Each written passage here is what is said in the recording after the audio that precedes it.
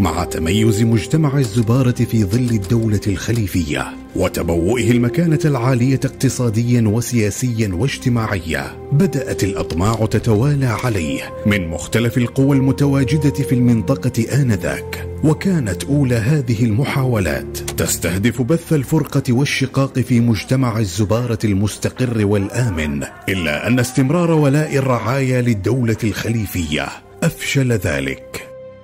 وفي منتصف القرن التاسع عشر زادت الصراعات بين القوى الدولية في الخليج العربي حيث سعت كل قوة إلى زعزعة الأخرى ومحاولة السيطرة على مناطق نفوذها. ورغم ذلك ظلت البحرين دولة مستقلة. تبرم الاتفاقيات مع تلك القوى وتنسق معها لحماية ممرات الملاحة والسفن التجارية من أعمال القرصنة والسلب والنهب. ليس في جزر البحرين أو الزبارة فحسب وإنما حتى في الساحل الشرقي لشبه جزيرة قطر حيث كانت البدع مقرا لممثل حاكم البحرين في شبه جزيرة قطر.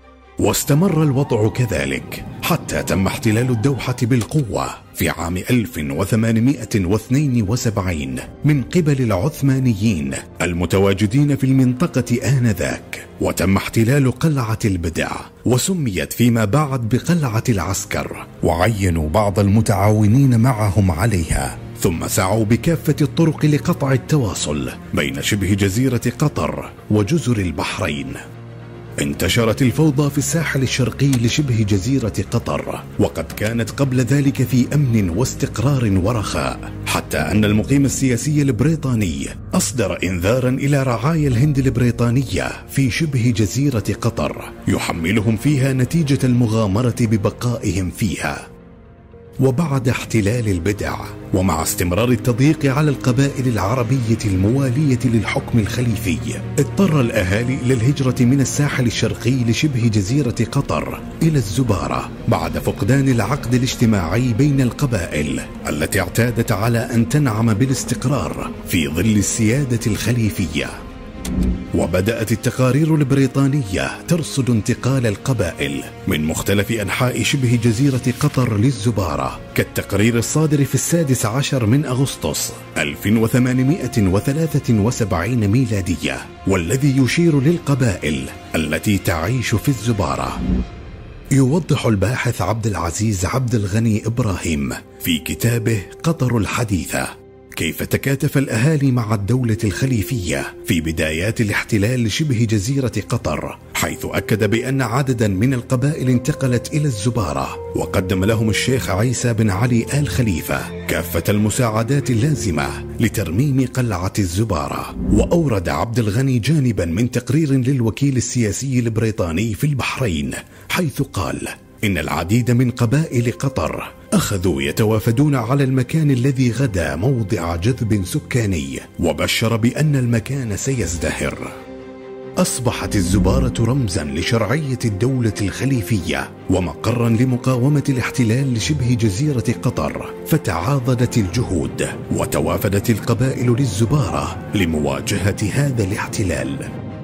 وذكرت الوثائق البريطانية الصادرة من قبل المعتمد البريطاني في البحرين بأن صاحب العظمة الشيخ عيسى بن علي آل خليفة قد أرسل رجاله لترميم قلعة صبحة وكان ذلك في الرابع من أغسطس 1873 هذه الترميمات للمنشآت العسكرية كانت ضرورية للدفاع عن حدود الوطن ومواجهة الاحتلال ونفوذه في شبه جزيرة قطر وعين صاحب العظمة ممثلا من قبله في شبه جزيرة قطر وهو الشيخ ناصر الجبر النعيمي وكانت الزبارة مقرا له.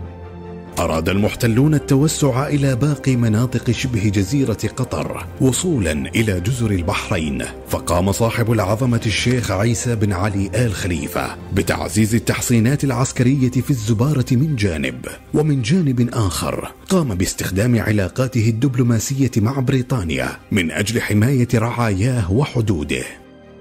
وكان رد قوى الاحتلال على ذلك. تحريك بعض المتمردين والمرتزقة لمهاجمة البحرين وتم دعمهم بالسفن من قضاء البدع المحتل بحسب تقرير للمقيم السياسي البريطاني روس المؤرخ في الثاني عشر من سبتمبر 1874 ميلادية.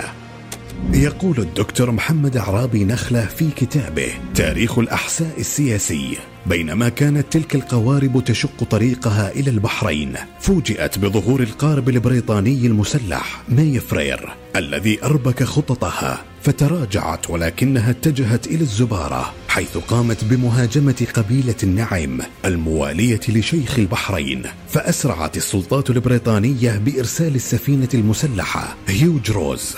التي أطلقت قذيفتين على المقاتلين المتواجدين على الساحل المقابل مما اضطرهم إلى الانسحاب. كان الانتصار في هذه المناوشات التي وقعت عام 1874 ميلادية لها أهمية كبرى في كبح جموح الاحتلال ونفوذه.